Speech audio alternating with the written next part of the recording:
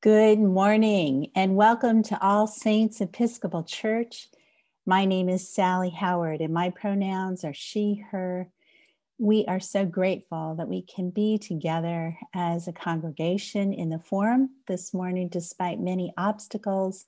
And as our rector, Mike Kinman, says, although our buildings are closed, our church is open. We have a saying here at All Saints whoever you are, and wherever you are in your journey, you are welcome to this community of love, peace, and justice. These words of radical welcome have been a part of the DNA of All Saints Church for decades.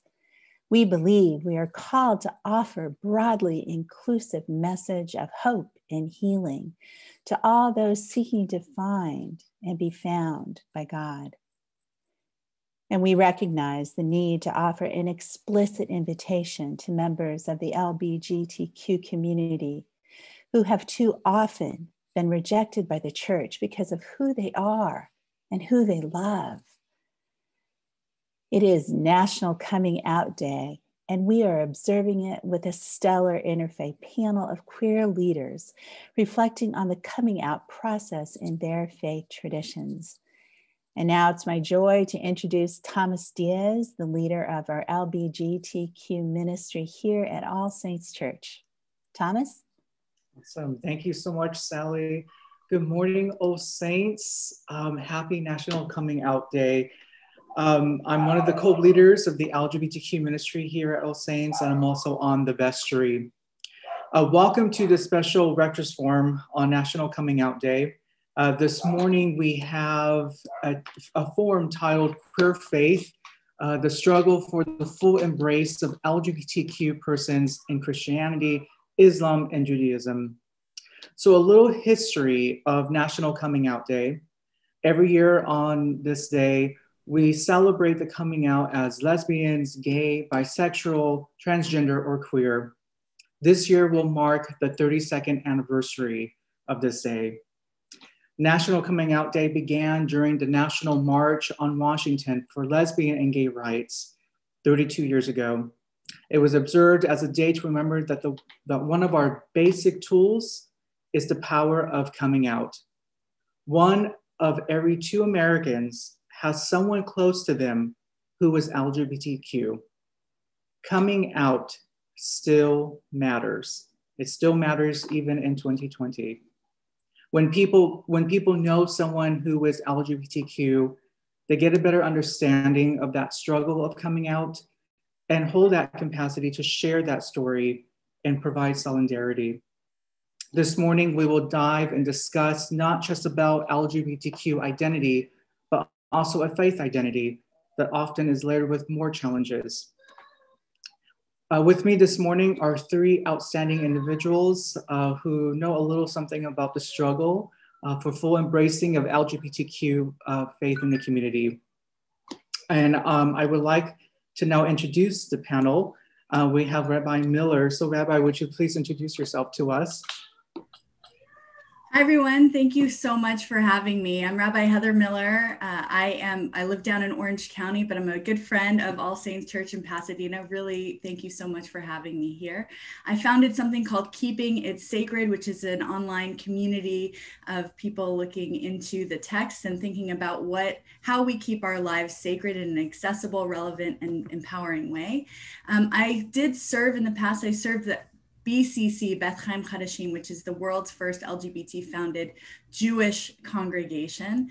And uh, I'm really happy to be here as well. Thank you. Awesome. Thank you, Rabbi Miller. And we also have our very own Kelly Erin, who is with us. Kelly, you want to introduce yourself? Hi, I'm Kelly Erin O'Phelan. Um, my pronouns are they, them. I'm the children's minister at All Saints Church in Pasadena. Here. Awesome.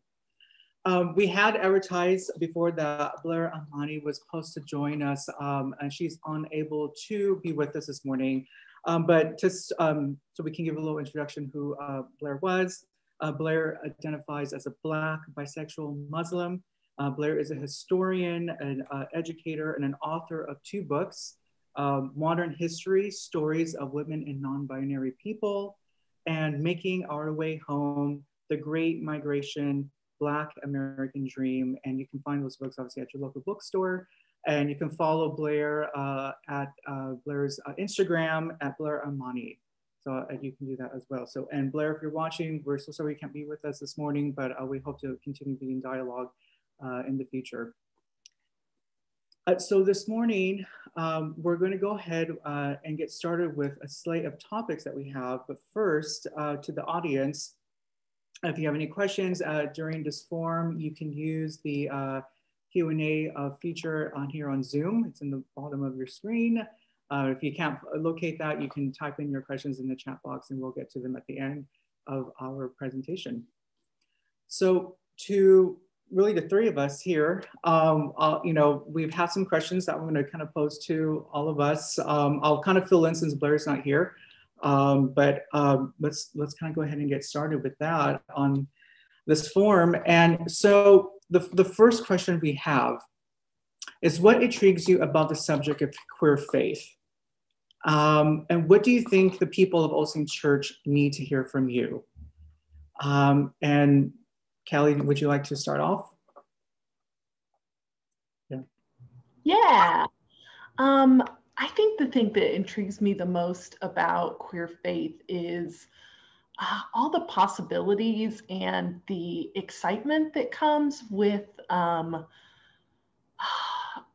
being just the extra layer in the LGBTQ community, um, having that extra piece of identity. I know personally, I've been a lifelong Episcopalian and I've made um, a lot of my closest friends in the Episcopal Church with other queer people who I met through church. Um, so I think that queer faith just at a baseline provides an incredible layer of community which is so important especially for lgbtq people especially for lgbtq young people um, and i think that the just like our sacred texts have so much to say about liberation and what that does for all of us um, i think it is really it's just an incredible thing to be um, a christian and an lgbtq person Thank you, Kelly Erin. Rabbi Miller, how would you respond to that? Yeah, I, I love it. Um, I'm gonna take an interesting. So my wife, uh, my wife went to business school, and we went to a business school conference for the LGBT community. There was like all of the students who were part of uh, affinity groups for the LGBT community went, and we had a speaker who wrote a book called The Q Quotient, which is all about what happens when people in business come out Okay, so what happens when people in business come out, right? You think that it's business, there's no place for sexual orientation here. But what happened, the, the book says is that every time someone came out at work, everyone else around them felt like they could be more of who they are at work right? So the person who loves camping could share more about camping and how much they love camping. The person who loves spiders could share more about how much they love spiders. Everyone around them felt like they could bring more of their full selves to the workplace environment. And if the business school community can get that, then I think all the more so in a church community, in a synagogue community, in a mosque community, in, in a spiritual community, every time each of us unlocks the light that's within us to share more of who we are, the community is stronger for it. So what excites me is that, you know, in all of those places as a rabbi, I'm really interested in helping people feel comfortable being more of who they are in all that they are. As we used to say at BCC, we would bless our children. May you be who you are in all that you are, because that's the beautiful thing. And we can really build community when we're all most of who we are. Yes, absolutely. And what comes to mind with that, Rabbi Miller, is when I've been thinking about queer faith, you know, the way I, I kind of see it is that it actually does, it's a healing property to bring uh, for folks who have been rejected from the notion that your mosque, your temple, or your church rejects you for who you are. Um, the very notion that God rejects you, um, which is foremost, right? And that's the queer faith that says, you know, that really dismantles that idea. And yet the struggle to get there, I, as you said, Rabbi Miller, I think that it would, t- it takes one person to actually go through that experience and, and reclaim like that, who I am, and what I am as identity is, is beloved. And that has that ripple effect. And I, I think that was a great example that you had with the business uh, industry. Um, yeah, and can we get you know our church, our mosque, and our temple to do the same? You know, that, that, hopefully we're doing that today, uh, this morning, and doing that. Awesome.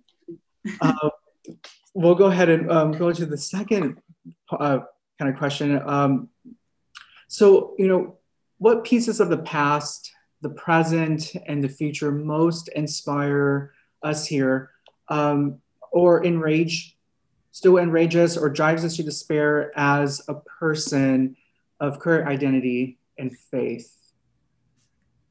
Um, you know, and that's a lot, I think, in contained to say that, you know, we probably could spend some time of dissecting each one, but, you know, I can start off with this one and, and say that for me, my most recent, uh, I guess, form of hope that I had uh, was around actually this time last year um, when I was out at uh, in DC at the Supreme Court for the uh, oral hearings of uh, the cases that were taken up for LGBTQ discrimination uh, in the workplace, uh, more specifically for the trans community. And I remember being in the front steps, you know, of the Supreme Court, and you know, we had many organizations were out there. It was the day of that particular hearing, and for me, it dawned on me for the first time um, of how much strident we have come as a community and still come, but it, the idea that we came out in, in force and with loudness and boldness and posters and and really saying that we're going to claim our hope you know we can have the powers that are among us and, and think that they're going to you know detect us and we have unfortunately i think we have that coming up soon again um, but but the, the very fact that as the community we we know our despair we know what the past is but when when the challenge is, is, is met for us, we will come with our voice. And I think it's the voices that I that I heard um, in that moment was like that is the hope um, that I have. Um, you know, and, and and layered it with faith. It was amazing to see how many folks uh, of rabbis um, and pastors there uh, who were offering prayer and spiritual support. It was just the most amazing thing to see. And I think often you know the rest of our nation doesn't know that right and that that's the visibility that still needs to happen with that um, we can go you know rabbi miller how would you respond to that question? That's, that's so good. I love that. I mean yeah i mean what was that last week that the weeks are melding together because of coronavirus? But i think it was last week that uh, justice alito and justice thomas were talking about rolling back marriage equality. And um, I I'm married and I benefited from that. I actually got married three times. Uh, I got a first domestic marriage partnership, and then uh, when it was going to be legal, and then it wasn't legal again, we instead had a spiritual wedding uh, because it wasn't yet legal. And then because uh, we didn't want to have a shotgun wedding when it was legal, because then uh, my wife's family from the Philippines would not be able to come over in time. So we, we, we had hope for California, but Prop 8 passed and we were not allowed to get married. So we had a spiritual wedding in 2012. And then the day that it became legal for us, we uh, had a legal marriage ceremony in West Hollywood Park. And um, it was a, a, fabulous ceremony and uh, opportunity to celebrate our love. So the, the we had hoped that we would be the last generation of queer folk to have to have multiple wedding celebrations but um, that's not the case. So i think that it is terrifying to think about not just marriage either. I mean that's just what directly impacts me right now. I have a family with two kids um, and i adopted one of them and my wife adopted the other one because we each had one. So there could be many many implications for us in our family life which is terrifying absolutely terrifying to think about our family being ripped apart. Um, so that's that's definitely there. Of course, you know, uh, trans violence of uh, people of color, uh, all of it. There's there's so much that we could talk about. Um, discrimination in the workplace, uh, housing, all kinds of issues.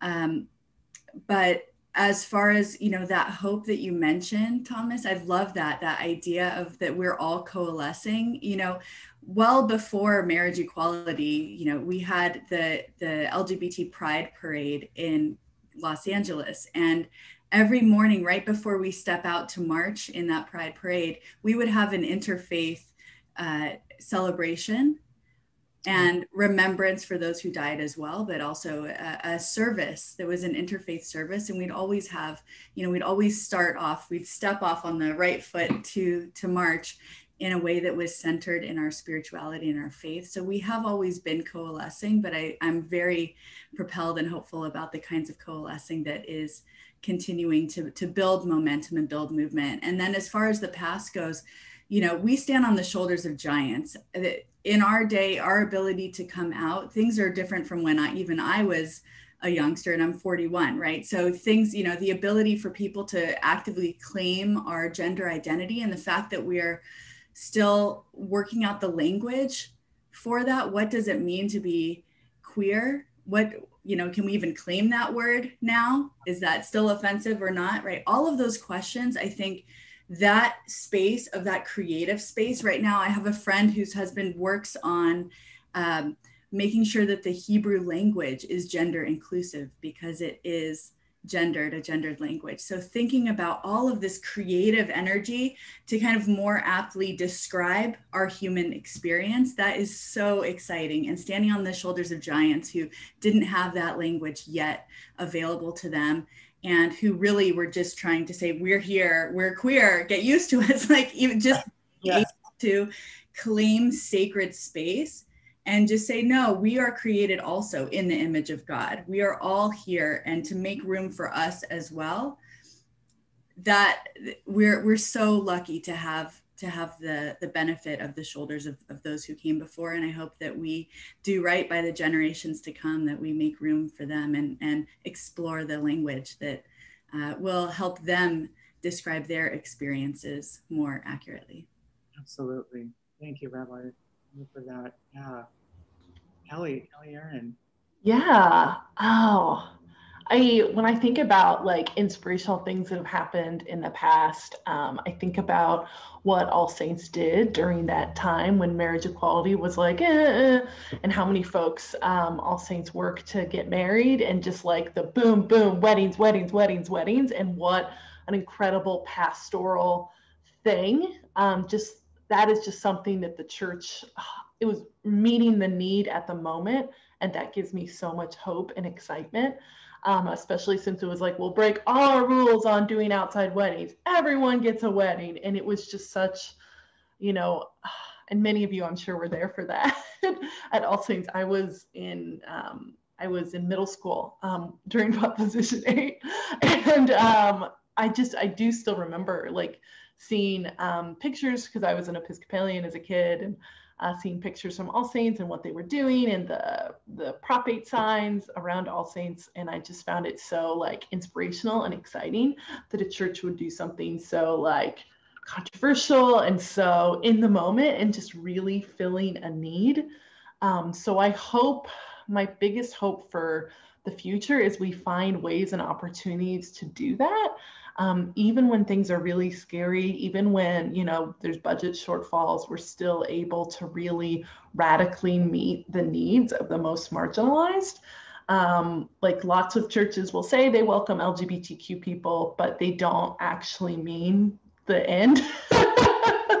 they don't welcome trans people. They don't welcome non-binary people. Um, I'm non-binary. I use they them pronouns, and my spouse is trans. And um, just so many churches don't even have the architectural setup to be actually inclusive. Um, they have gendered bathrooms, they have um, gendered spaces, they have, you know, women's voices, men's voices. They have just so, so much excessively gendered things. Um, and when you gender a space, I think it's really important to think about why. Like, if you have a women's group, why do you have a women's group? Like, what do you mean by that? What is, um, do you, do you when you say if you say that non-binary folks are welcome do you just mean you welcome them because you think of them as women like what is do you actually mean like non-men all non-men are welcome here um, so it's really really interesting. And I I see where the church can go with that if we choose to act bravely and um, boldly in the future. So I I do get inspired about when um, All Saints does things like provide you know 100 binders for LGBTQ youth, um, mostly queer youth of color in Los Angeles um, who need a chest binder to flatten their chest to make them feel affirmed and good in their gender. Um, that's something All Saints did last year when we have done makeup drives. I think that is really incredible action and step. And there's just so many things, especially in the last four years, to give to. When folks choose to give to a cause so many think is over or done, um, it's really, really incredible because we're so, so far from the fight being over. It's just, uh, and even thinking about like what what does the like reversal of marriage equality mean for me? It's like can my spouse not get a legal name change and gender change soon? Do we you know need to grab that $500 out of savings now and just do it? And it's just it's can be scary and being trans is expensive it's very expensive to change your name and your legal uh, and your gender pronoun um, on your id and um, yeah it's just it's scary on top of an already really scary time. So I have a lot of anxiety around that. And I do pull a lot of inspiration from um, what has happened in the past. And I know that a lot of other churches are like nowhere, not to be like, oh, all saints, yes. But so many, I have a colleague group of queer um, ministers who work at other large Episcopal churches around the country, around All Saints' size and some smaller. And they can't even like no one can use a they them pronoun in the congregation or staff and i feel pretty good that we are getting closer every year and um, i have a lot of hope and excitement that we can keep working and going on that because i know we can absolutely get there. We just got to put in the work. Um, and it's hard especially when there's so much going on but when you put in the work you unlock so much for yourself. Like it's not just about um, it's not just about like doing the right thing or being a good ally ally. Like i know this because when i show up for um, black lives matter like i get fed so much out of that and i have a personal stake in that liberation. I need um, cis het people to have a personal stake in my liberation too and what that will do for them will just open i think what rabbi miller said about you know it opens everyone to be more themselves. It absolutely will. Um, and it opens up a better world and that is exciting for people of all genders and sexualities i think you're so right can i just jump right in here yes. um, i you know there's i really want to share so much about what you just said but one of the things about putting in the work it's so important to put in the work you know um, in one of the congregations I served, someone boldly came out and shared what their gender pronouns were. And uh, one of our members said, "Well, I'm not going to call you that because you're a woman. You're not. You're not a, a man." And I just like, as the rabbi, I looked at the person, said, I called the person by their name. Hey, person, like you can do better than that. like you can, like we all can do better than what we have set as a bar for ourselves, we can each challenge ourselves. Yeah, maybe the gender pronouns are going to be clumsy at first, but you can do better. You can do it because we we didn't used to call women anything other than Mrs. if they were married before, and we changed it to Ms. And we, you know, we're starting to. We've always understood gender in lots and lots of different ways, and I think that this is just we have to think about what values there are what do we have to gain like what you said kelly about what are we gaining for our entire community when everyone is shown the respect that they that is like god-given respect of like integrity and dignity of being simply being called what you want to be called and not being called a different name.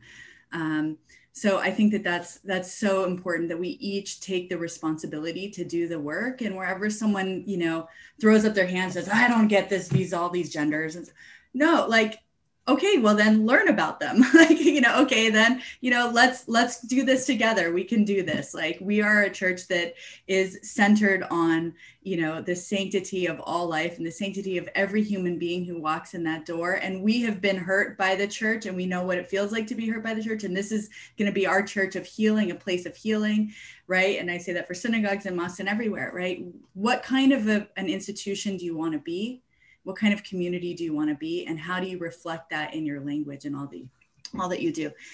And the other thing i wanted to share was another thing that gives me a lot of hope is this thing. It says quarantine camp 2020 there was an online interfaith camp international interfaith camp um, this summer and i got to speak at it and they have like this great there's even like a we're here, we're queer, we're filled with brim and cheer. Like it's it was such an affirming space, right? See, Kelly's like, yes, it goes straight to your heart, right? It makes you feel so good to know, right?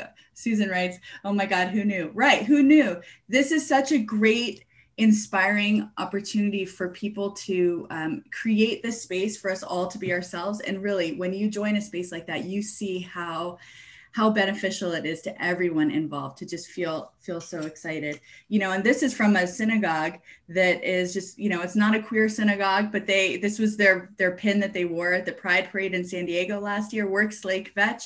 You know they're people other organizations are opening up funders thank you funders you're funding all of this work to make sure that people can that we can take religious life to the next level and to really open it up and and uh, allow everyone to shine our lights. And kelly you talk about redemption. It's absolutely a redemptive opportunity. In the in rabbinic text we talk about um, the day that joseph was brought up out of jail was the same day conflated into the same day that the Israelites went down to Egypt to escape famine, to be redeemed from the famine, which was also conflated to be the same day that the Exodus took place, that the Israelites were left out of oppression. So when we unlock ourselves from the jails of, you know, everyone else's perception, when we free ourselves from worrying about where our sustenance comes from, to we have basic dignity rights, and then when we go out into our own freedom and liberate ourselves, singing the song at the sea into our own freedom, that is when light is unlocked. And it says that those nights are like day and the daylight, the sunshine seven times as bright as it as it is on a normal day. So that is that kind of light-filled redemptive situation that we are all trying to build and and and this panel is uh, an inspiration to me as well awesome thank you so much rabbi and if i can yeah, go ahead.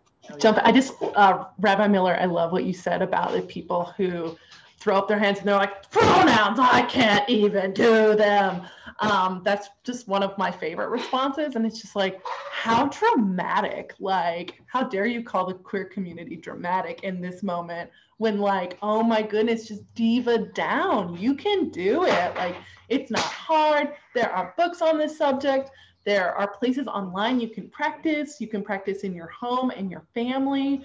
Um, you can practice like calling your dog by different pronouns, like how silly and ridiculous, but also like that's what it takes for you to unlock this um, so you don't make mistakes in front of um, people who are trans.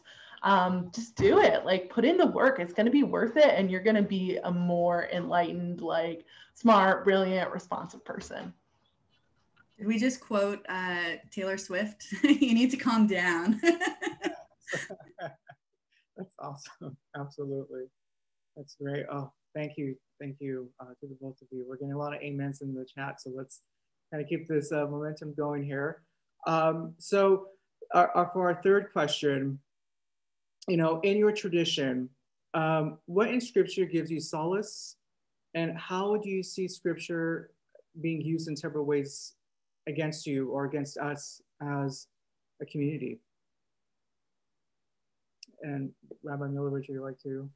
Sure. I mean, there, I, I have so much to say on this, but um, I'll, I'll just give a couple. So obviously Leviticus 18:22, a man should not lay with another man as he does a woman, is used against us all the time. I just want to point out it's men, not women. So let's just get lesbians out of there, and and uh, all non-men.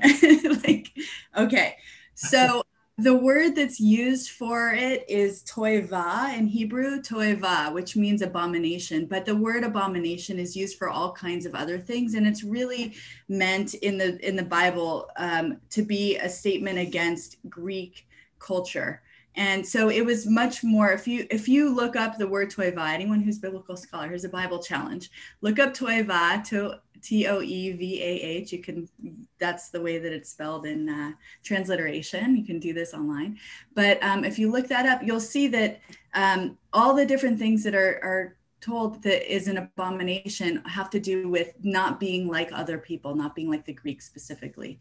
Um, so that's, I think it's such a misuse of the understanding. I think also, you know, when people cherry pick from the Bible and say like the Torah, the Bible or the Torah says this or that, the Torah says a lot of things. It says to, you know, stone your child if they swear against you, right? None of us are would propose to do that. Um, so we're we all have to think about what aspects of the Torah or of the, the Bible really do speak to us and what kind of what do we want to kind of help us navigate our own lives.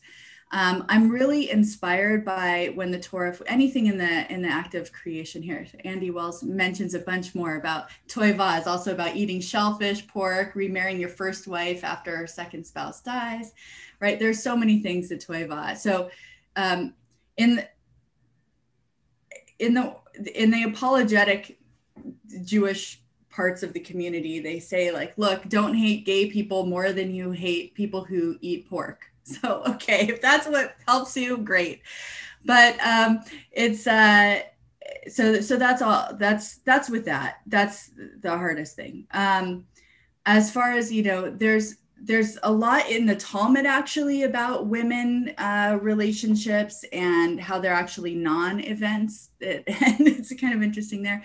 Um, but uh, as far as gender goes, there's six genders mentioned in the Mishnah. So we think about like how, oh, well, this is such a new thing. It was always men and women, men and women, men and women, and now it's like who are these people who are coming in to change what gender is? No, no, no, no. In the year 200, when the Mishnah was codified, and it was just codified then, which means that the language, the teachings were earlier than that. Um, there was six understandings, six categories of gender. One of them included the tumtum, which is someone who's uh, uh, like transgender. Um, there's one called androgynous. Guess what that is? Androgynous. um, so, you know, it, it's not a new thing. And what's interesting is the way that the rabbis handled those six genders was that they slotted those six genders into the two genders so that they could make in their own worldview, make the genders work.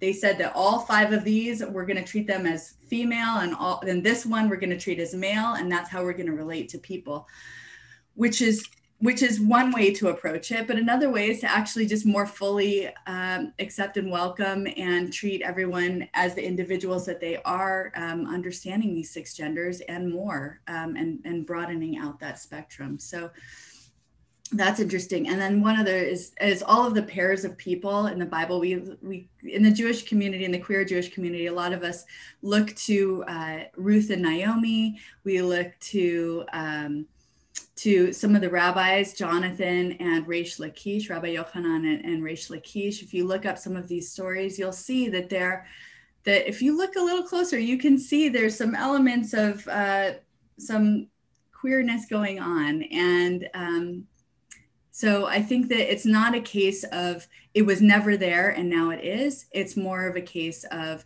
it was always there. We're just seeing it now and uh, bringing it to light and again with the light theme of redeeming redeeming these stories for ourselves. So that's exciting. Absolutely that light absolutely yes.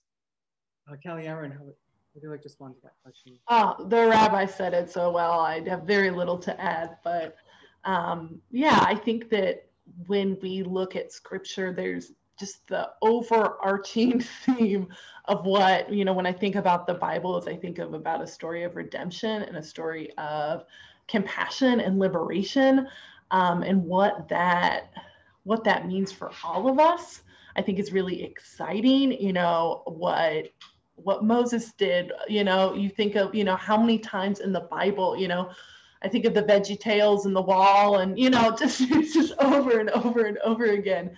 Um, there's a theme of kind of a, a person who is not seen as you know great or big or important does something incredible um, really really you know topples a government a leadership you know jesus's life was about tearing down um, what you know the whole system. What happens when you you know literally flip the tables? What happens when you um, tell the least of these they're the most important? It's so much goodness. And uh, susan put a great link just now in about more in those texts. And of course there are the clobber passages.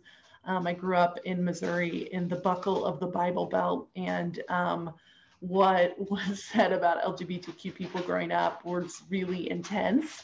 And um, i just think it's it's so interesting how people cling to that and don't think about how you know what like there weren't words for loving consensual lgbtq relationships you know a hundred years ago a thousand years ago two thousand years ago um, so i think yeah people just they're very silly when it comes to picking out things out of the bible that they've just gotta grab onto when there's so much of an overarching theme of justice and compassion and liberation. Um, why would you not cling to that? Why would you cling on to the hate? It, I don't know. I don't get it. It seems very silly. And like I grew up in an affirming church my whole life. I had a gay priest in high school who was super great and life changing. And like that is what's kind of in store, I think, for future generations when we do the work now, is we don't pass on this generational trauma of religious persecution. So like that gets me all jazzed up. I want to share a little bit more about the about the the couples too. The idea about what does it make? You know, it's it's a you know, God made a woman for Adam, like Adam and Eve, not Adam and Steve people, right? So if we look at if we look at Genesis two eighteen, right? It says, The Lord God said, It's not good for man to be alone. I will make a fitting helper for him. So, first of all, man is not man, it's Adam. Adam means the human, right? Because this is when Adam was created in the image of God, male and female, God created them. So, God was created, Adam was created, we could say also as androgynous, okay, as intersex, we could say. Um, uh, so it's not good for the androgynous being to be alone. I will make a fitting helper for him. So for him, again, that's where the gender comes in as far as the adjective. But the word fitting helper is actually ezer kenegdo. Ezer means helper. Ke means as if. Negdo means opposite. So the fitting helper for this intersexed Adam creature. So it's not at all about um, making a woman for a man. It's about not having this creature being alone and to create a fitting helper, someone that's opposite, but a helper. And what is an opposite helper? It's someone who is different enough from you that challenges you to continue to grow, but they're ultimately they're your helper. They're your foundational support. They're there because they're challenging you, Lashem Shemaim, for the sake of heaven, not for the sake of tearing you down, but really for the sake of building you up. And when I think about love, like I just actually officiated a wedding yesterday in Joshua Tree, and it happened to be a straight wedding. But um, you know, when I think about love and I officiate all of these weddings that I do, it's it's not about you know, I now pronounce you man and wife. It's not about that at all. It's about that you are not going to be alone here and you are you have found your fitting helper for yourself, someone who's challenging for you, but also ultimately at the end of the day, just has so much love and respect and, and pride for you. So it, it's important to, to not, um, to challenge people on that because if you just look in the Hebrew, just look in the Hebrew, it's there. It's just been translated so poorly. Yeah, absolutely. Yes. Um, this is wonderful. Uh, just to remind uh, the audience um, that we will have a Q&A in just a, in about five minutes. So you can use the Q&A function on Zoom and we'll get to some of those questions. But we do have one more question to reflect on as a group before we get there.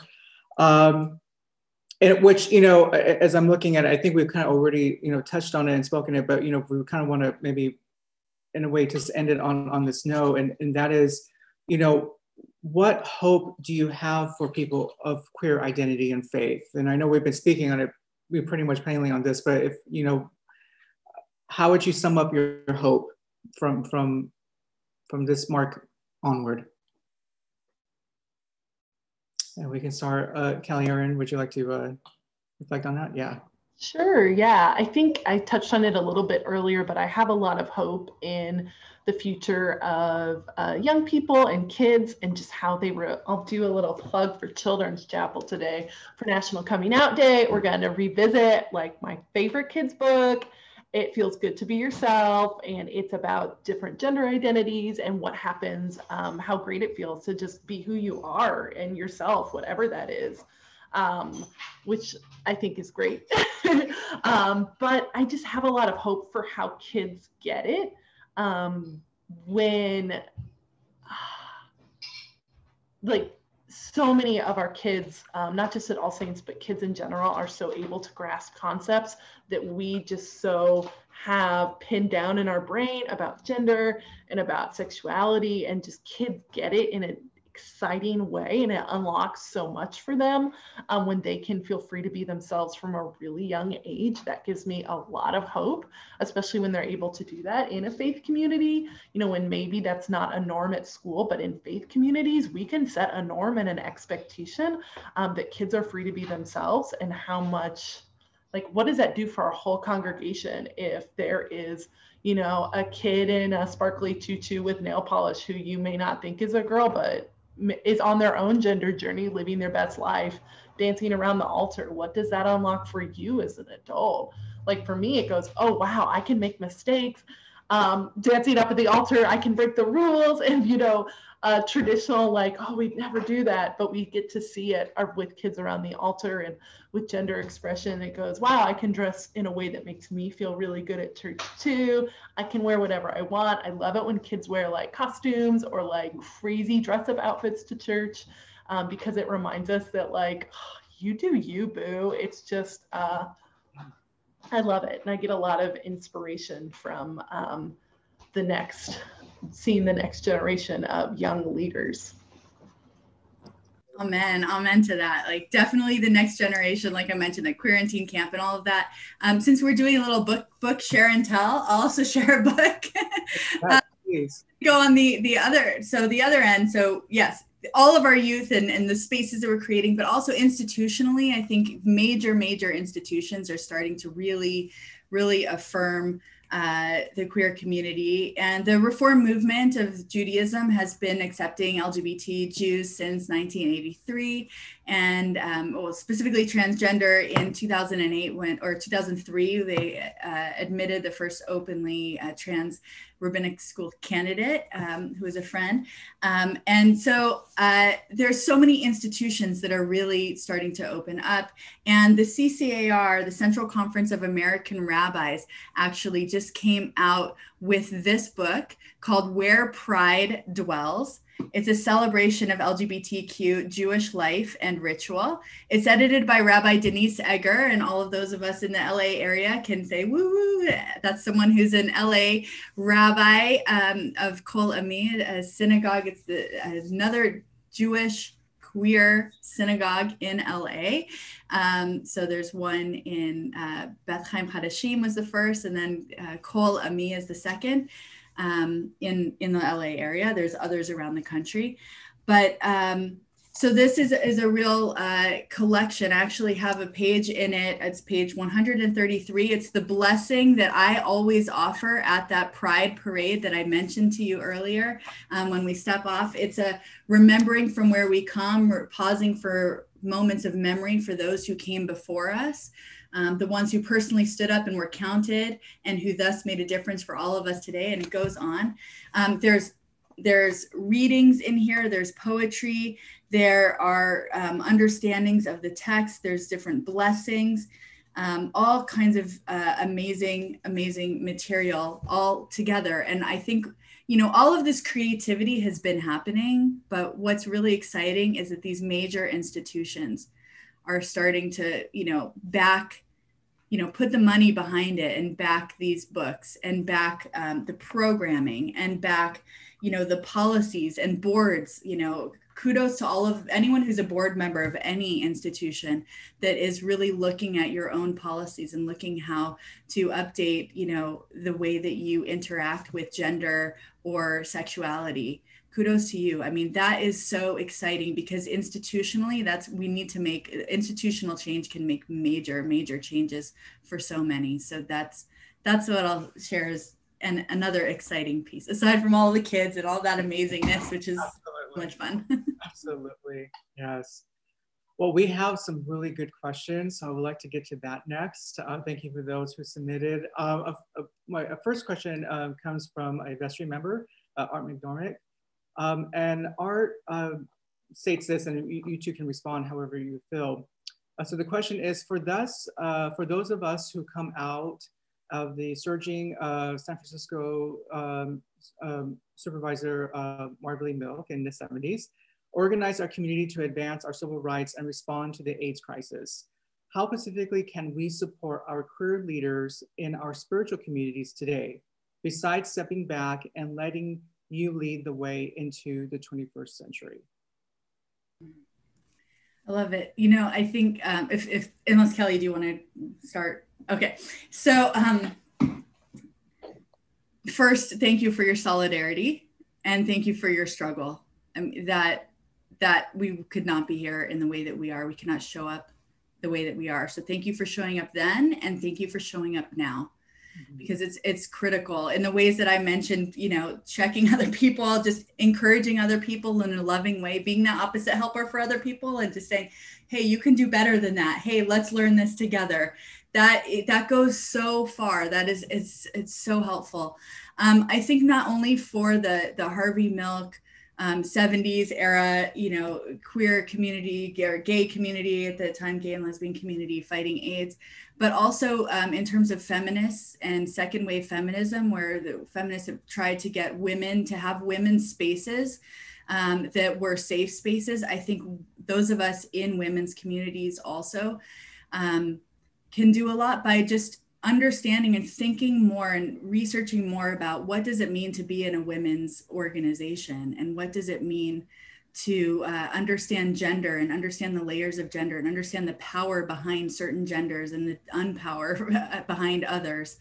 Um, i think all of us can uh, do well because i think you know you mentioned earlier like women's groups at church. We also in the jewish community have sisterhood. We have the women of reform judaism institutions again major institutions that are really grappling with these with these questions.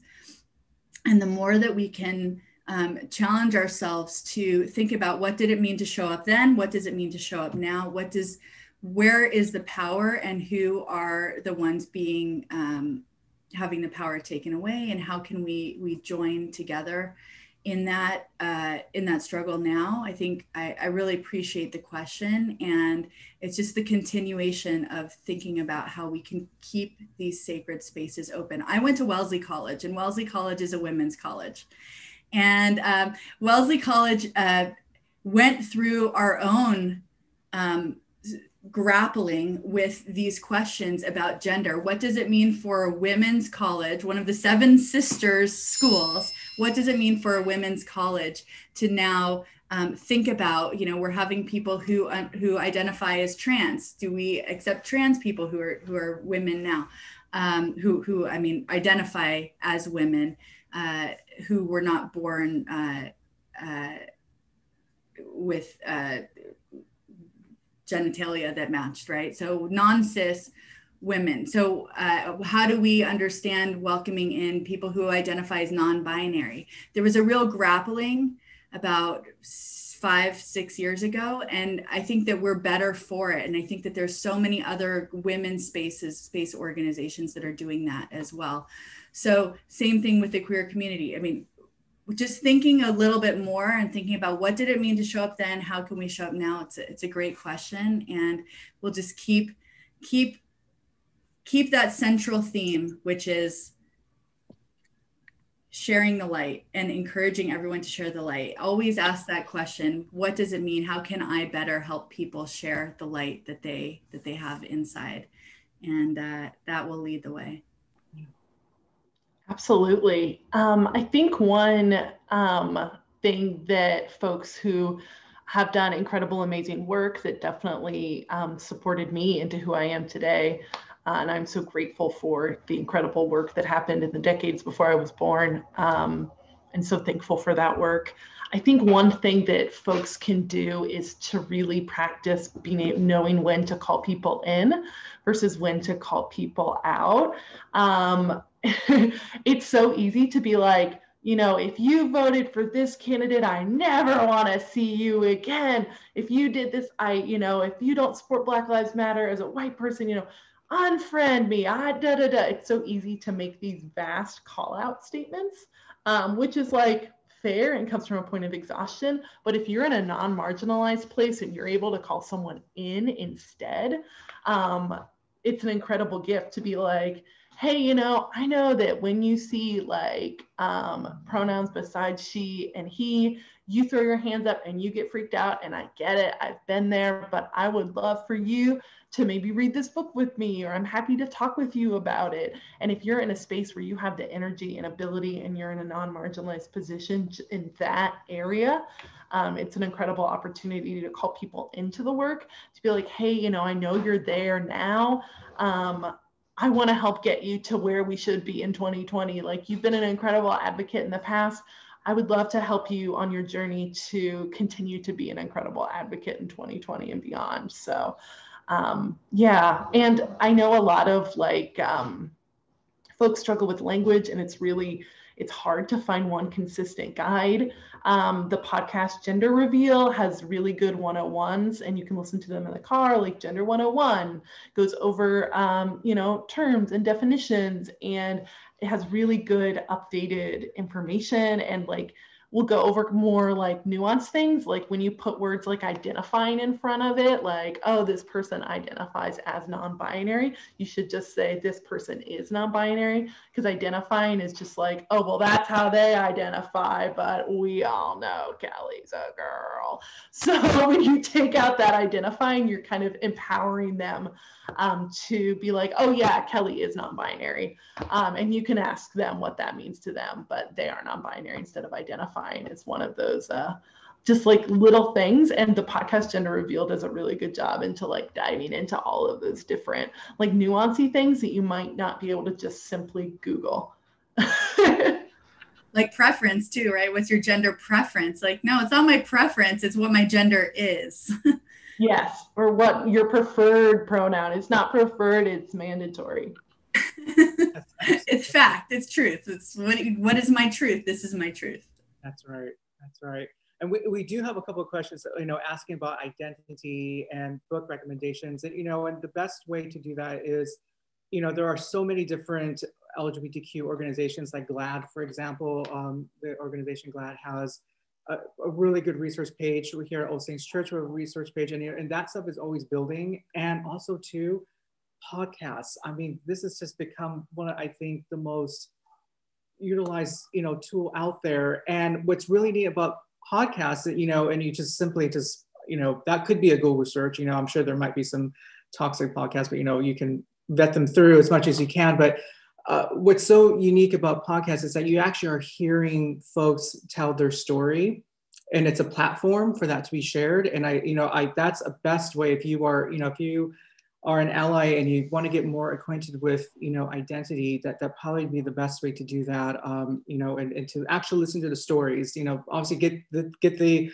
informative facts but another best way is to hear the stories um, that folks are are portraying you know portraying their, their truth their truth and their identity. So um, do that. We have um, a question um, let's see i had it plugged in right here. Um, Okay, so we have a question about, um, so I'll, I'll just read the question here. It says, All Saints really got to me to come out by talking in a way I've never heard before about being myself. What things do you know, uh, do you all do, not only to accept people who, who are out, but to help those struggling and accepting themselves? Yeah, so good. Um, one thing, uh, one thing that I find a lot of people wrestle with is uh, the idea of the commandment to honor your father and mother. And uh, they they understand that there's a challenge there between being who they are and then not disrespecting their parent. And they feel that aside from what that does with their relationship with their parent, it makes them feel like a horrible person that they're not respecting their parent, um, that they are obviously, you know, uh, uh, you know, giving up the the commandment, one of the Ten Commandments, to to do this, but um, it can be a, a real a real point of challenge. And um, i think i've i've done a sermon at the high holidays about this about just letting that go a little bit more because um, there are there are expectations in the Jewish tradition of what parents need to do for their own children as well. There are it's not just that the children are there to serve the parents. Um, there are parental responsibilities. One of which is to teach your child to swim, which I think is really interesting. But uh, that's in the Talmud. But teach them to swim, teach them a trade, find them a partner. Um, but the idea that um, the the families are complicated and that you know at the end of the day you have to live the life that's the truth that that's yours. So i think uh, that's that's a big part of when i see people come to me and they're they're struggling with who they are. First and foremost is what are my parents going to think? What is my grandparent going to think? I know for myself coming out to my grandma who died this year may she rest in peace uh, at, at 100 years old um, you know, I was terrified to come out to her. And so actually, I went to my grandfather's grave and I told him through, through the grave.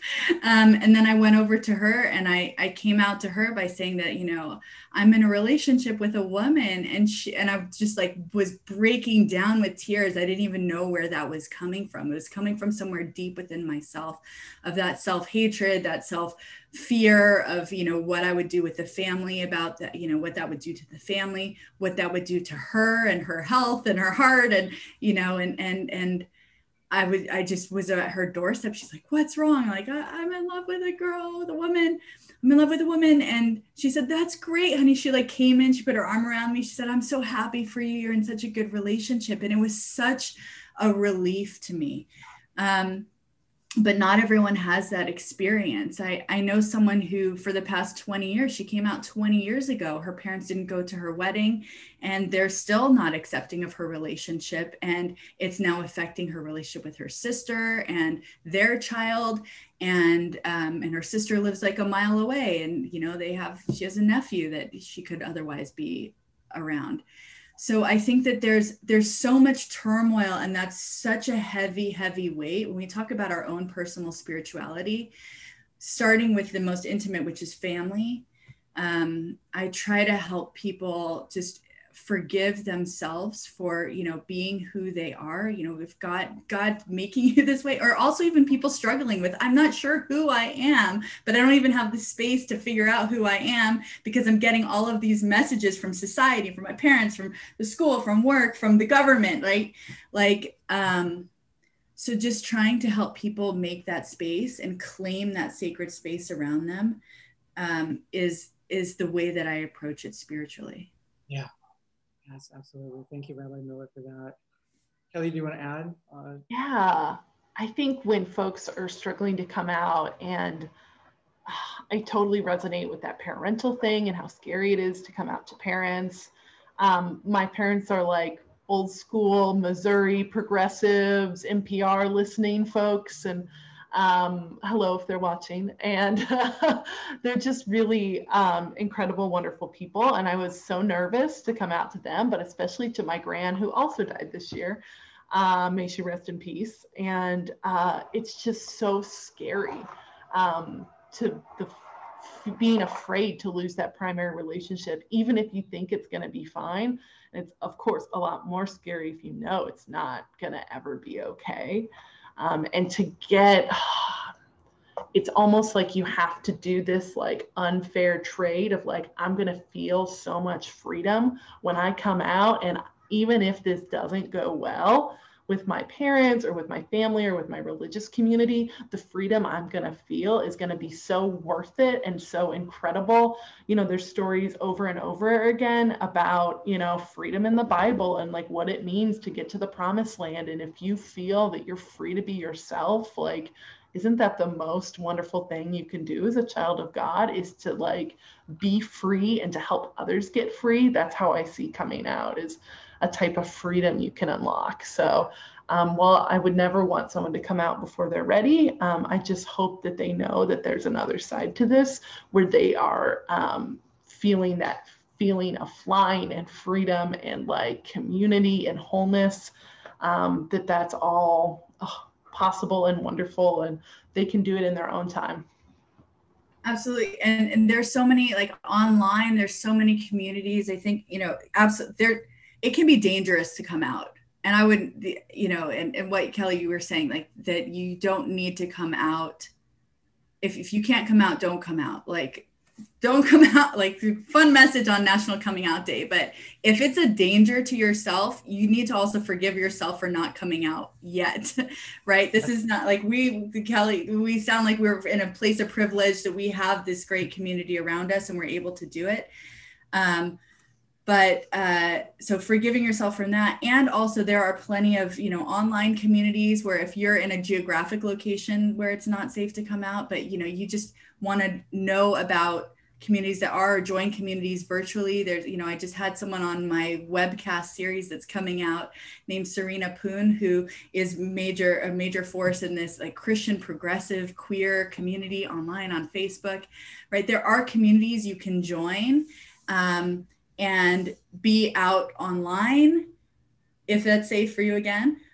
Right. Even if you're not out in your physical world because of where you physically live, you can't you can't put a rainbow bumper sticker on your car. Okay, like forgive yourself for that, but you know just be who you are in the ways that you can be who you are, and um, and just know, like you said, know that there are so many communities out here cheering you on and welcoming you and uh, and encouraging you uh, that that you are who you are and it's sacred. Absolutely. Rabbi Miller, Kelly Erin, thank you so much. Uh, this is, gosh, we probably can go for hours on this. We really could. Uh, but thank you. We, we need to do this again. And, you know, and this is such an important, you know, day for folks to understand what it means to come out. You know, I have my story. We all have our stories and how we did that. And, and, they're, and they're all, you know, on this band of, of from safety to not being able to do it. And yet, you know, takes years for folks and for some folks to do it. So, uh, but this is a place to start. And um, just thank you so much uh, for your insight and your wisdom on that.